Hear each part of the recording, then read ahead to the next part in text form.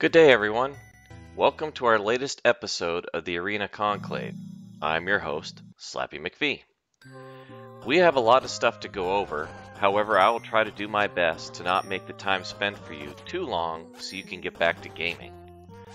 Our format today features gameplay footage captured by Qbert from our team being played on our latest build of our RetroPie fork on the Odroid XU4. A link to Qbert's channel will be provided in the description below. To start, I'd like to share that we are very excited to announce that over the coming weeks we will be transitioning to our new brand. As we are evolving and growing, it has become obvious to us that being strictly just Odroid Retro Arena is not conducive to the direction we are going anymore. You may be asking why that is, what exactly do I mean? We are pleased to say that we have been approached by Pine to put together builds of our fork to their hardware moving forward. This means that we are actually developing a build with them for the recently released Rock 64 Pro board based on the RK3399 chipset. We are not of course abandoning Odroid, However, we are going multi-board and multi-vendor in our development process. We received several of our dev kits and have begun work in concert with Pine. If you haven't seen it yet, ETA Prime featured a video on the alpha build for a Recalbox on the board. Performance is in its infancy, however, it does appear to be very promising. We can't really say as of yet how it will perform and how it will stack up against other options. However, options, of course, are always welcome for the community at large. With this new development in mind, we are changing our brand to The Retro Arena. and I apologize, I'm a little bit under the weather today. Uh, got a lot going on with allergies, so we have already begun the process, if you may not have noticed, as our YouTube channel is already branded as the Retro Arena. We have been putting in the different things in place that we're going to need, such as a Facebook group, Discord server, website URL, etc., and are working on the back end for various bits and bobs to make the required adjustments.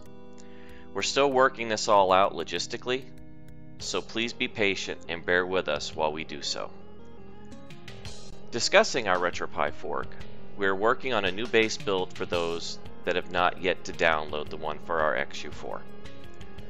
Those that are already have the build and are actively using it will be able to update in place for the most part, and we will continue to do what we can to push our updates over the air.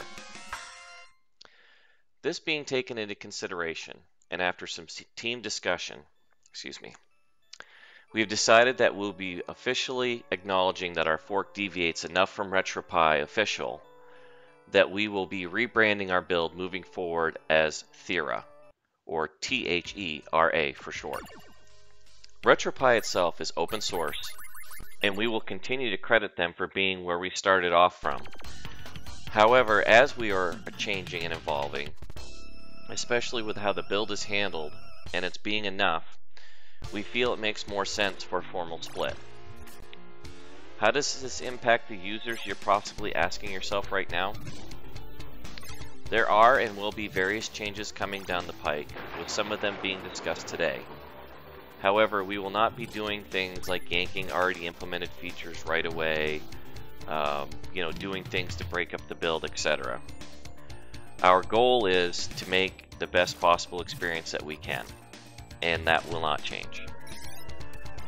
Our build has always been one that has worked to leverage the great work from RetroPie, Recalbox, Batocera, and even other non-Linux based distributions, which is another reason for this evolution. Just like our growth to become more than just Odroid Retro Arena, we'll be sharing more information in the future on this. Moving on to some of the items for the upcoming Subversion release, I want to share part of the known changes at this point. We are swapping out to an in-house created media for the boot splash screen and launching media. We are working with one of our extended team members, Dave Marty, for implementing his launching videos feature, which if all goes well will be the default rather than static image files when you're launching games.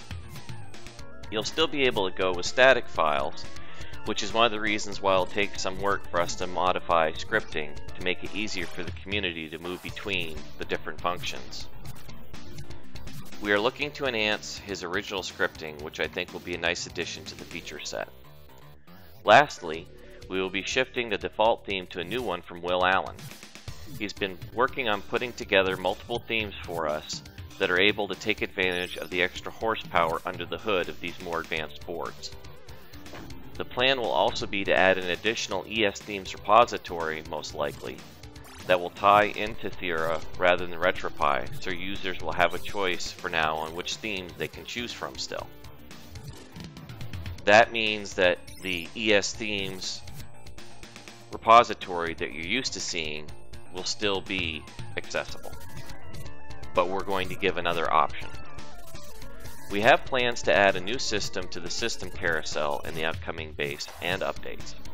I'm pretty excited about this one, and for now, until we're ready to preview it, I'll leave it under wraps. But I think that there will be many users out there that will not only benefit from it, but also really enjoy it. I can tell you that it is not another game system that is being emulated. So stay tuned for more information, hopefully soon. A pretty exciting and cool augmentation for us is a new affiliation with the developer for LR Reicast. Due to the efforts of Galileo, we have provided, for now, an XU4 to Flying Head, the developer of LR Reicast, and will be working to provide him with a dev kit for the R64P as well.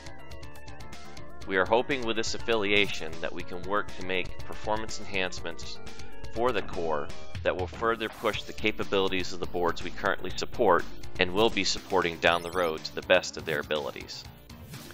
One of the updates we will be making is that we are removing Kodi from being installed by default on our base image. We understand that this may be unpopular for some, however you will be able to install from the setup menu if you so choose for the foreseeable future. We will be modifying the scripting so that it will perform the install correctly from the menu. As for us, Kodi is a standalone installation and has specific dependencies that are different than on the Raspberry Pi boards, for example. Our choice to do this hasn't been a light one. However, recently, the United States government in a federal case against a Kodi add-on developer has shown that Kodi is very much in the limelight for all the wrong reasons. With this type of visibility, along with the attention that Kodi has been garnering across the globe for its ability to enable video piracy, we wish to make the decision strictly up for the user on if they, they will be using the application, and they will be taking full responsibility for how they consume content on it. Well, that should do it for today. I really want to be able to get this video out and due to a lot of other things, it's kind of been unfortunately placed on the back burner much longer than it should have been.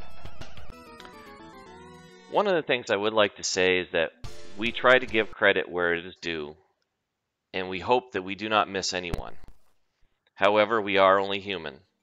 So there may be times where I, or we as a team, don't acknowledge everyone who has played a part in our success to this point. As always, we wouldn't be here if it weren't for the growing community, our Patreon, commercial affiliates, emulator affiliates, and without a doubt, all those on the team that put so much time and effort into this hobby. For now, we hope that you're enjoying your retro gaming scene and wish you happy gaming.